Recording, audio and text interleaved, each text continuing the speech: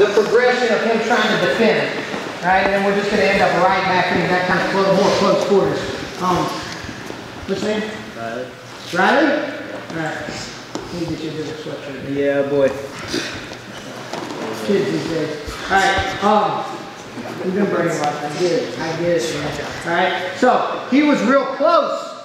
He was pairing the head. He was here. Is that wrong? Is that wrong? Do I have an angle? Do I have an angle? Are my feet set? Is this guy in the best position to defend? So is that wrong? No, you're close. All right? But can I fake from there? Does a fake feel like it's real effective there? If I'm here with Jake and I, I, I, I try to level fake, is that real effective? So again, we got to figure out what to plug in where. If I'm close, does a fake work? All right? If I'm too far away, if he's standing there and I'm standing here, you see it. You see it, right? As opposed to, uh-huh, uh-huh, right? So now this is what's going to happen. I'm going to pair the head. I'm going to circle.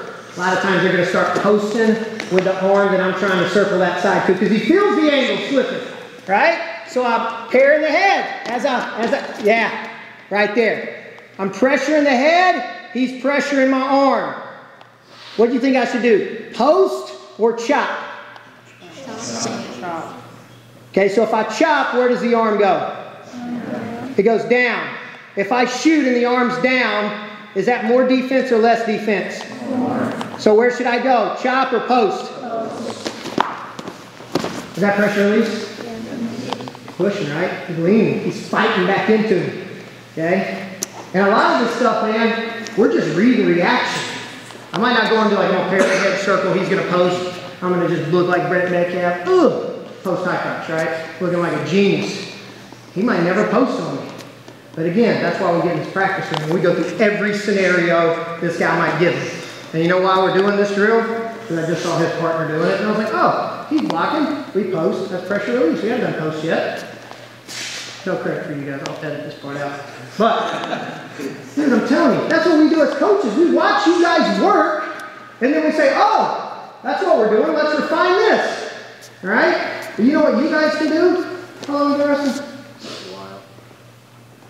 Three days, ten years? Your whole life, right? You probably know more wrestling than you have a clue what you know.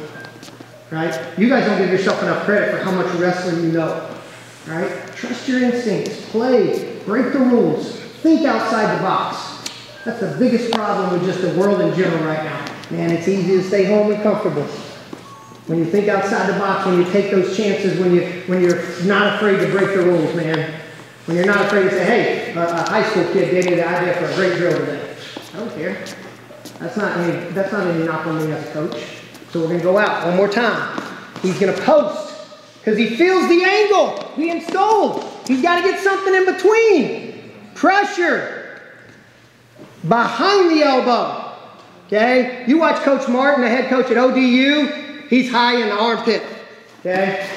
I just want you behind the elbow. I don't care how far you go behind the elbow. All right? And watch my back foot when I pair.